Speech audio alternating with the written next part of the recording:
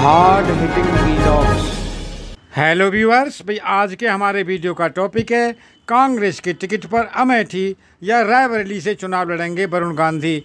दोस्तों, क्या भाजपा के सांसद वरुण गांधी अपने गांधी परिवार के और करीब आते जा रहे हैं? क्या वरुण गांधी आने वाले लोकसभा चुनाव में कांग्रेस से अमेठी या रायबरेली से उम्मीदवार हो सकते हैं?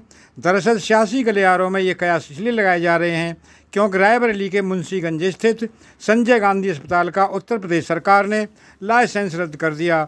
इस अस्पताल का शुभारंभ उनकी दादी और पूर्व प्रधानमंत्री इंदिरा गांधी ने किया था। इलाके के मरीजों को दी जाने वाली सुविधाओं और अपनी दादी के हाथों से उद्घाटन किए गए अस्पताल के निलंबन पर वरुण गांधी ने उत्तर प्रदेश के डिप्टी सीएम और स्वास्थ्य मंत्री ब्रजेश पाठक को लंबी चौड़ी चिट्ठी लिखी है।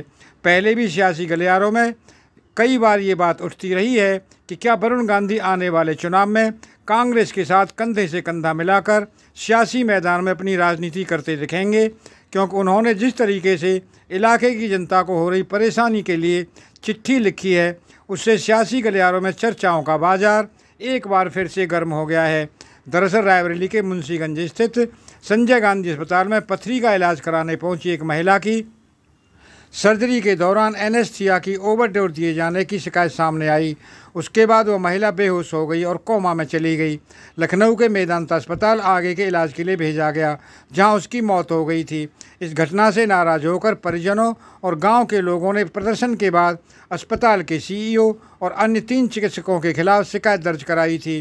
रायबरेली के सीएमओ डॉक्टर अंशुमान सिंह बताते हैं कि जिला प्रशासन की ओर से संजय गांधी अस्पताल का लाइसेंस निलंबित करते हुए नोटिस जारी कर ओपीडी और इमरजेंसी सेवा बंद करने का निर्देश दिया गया था। इसी घटना के बाद पीलीभीत के भाजपा सांसद वरुण गांधी ने उत्तर प्रदेश के डिप्टी सीएम ब्रजेश पाठक को लंबी चौड़ी चिट्ठी लिखकर योगी सरकार को कटघरे में खड़ा कर दिया। उन्होंने संजय गांधी अस्पताल के लाइसेंस को निलंबित करने पर न सिर्फ़ गहरी नाराज़गी जताई, बल्कि अस्पताल के खिलाफ निलंबन की कार्रवाई में गहन जाँच के न होने की भी बात कहते हुए तमाम सवाल खड़े कर दिए। अपनी चिट्ठी के पूरे मजमून पर राजनीतिक जानकार तमाम तरह के कयास लगा रहे हैं। रायबरेली के स्थानीय वरिष्ठ नेता अतर हुसैन कहते हैं कि जिस तरीके से वरुण गांधी ने इस अस्पताल के लाइसेंस रद्द होने पर स्थानीय और आसपास के ज़िलों के लोगों को होने वाली समस्याओं को प्रमुखता से उठाया है, उससे स्पष्ट होता है कि वह यहाँ की जनता के लिए कितने सजग हैं। अतर कहते हैं कि ये बात बिल्कुल सच है कि संजय गांधी अस्पताल से आसपास के इलाकों के लोगों को न सिर्फ़ बेहतर इलाज मिलता है, बल्कि लखनऊ या अन्य बड़े शहरों की ओर जाने से भी राहत मिलती है।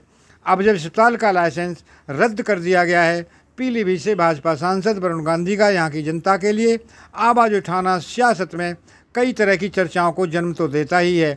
अतर कहते हैं कि वो लंबे समय से मांग करते आए हैं कि वरुण गांधी को कांग्रेस के साथ मिलकर सियासी मैदान में उतरना चाहिए। अब तो वरुण गांधी ने स्थानीय लोगों की आवाज़ को उठाना भी शुरू कर दिया है। राजनीतिक जानकारों का कहना है कि जिस तरीके से वरुण गांधी भाजपा और उनकी नीतियों को लगातार निशाने पर लेते आ रहे हैं उससे अंदाज़ा लगाया जा रहा है कि आने वाले लोकसभा के चुनाव में उनका सियासी ठिकाना बदल सकता है। राजनीतिक जानकार कहते हैं कि पहले भी कई ऐसे मौके आए हैं, जिससे स्पष्ट हुआ है कि अगले चुनाव में वरुण गांधी भाजपा से अलग होकर चुनाव मैदान में उतर सकते हैं।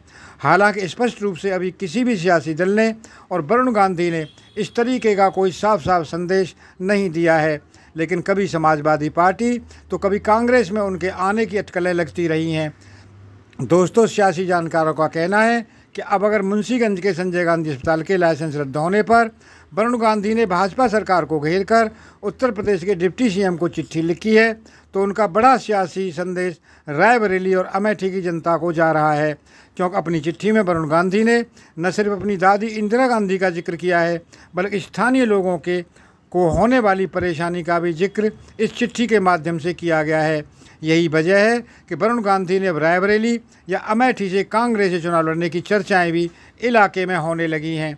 दोस्तों, अगर आपको ये वीडियो पसंद आया हो तो चैनल को सब्सक्राइब करें, वीडियो को लाइक करें, ज़्यादा ज़्यादा शेयर करें। आप लोगों का बहुत बहुत धन्यवाद। Thank you very much.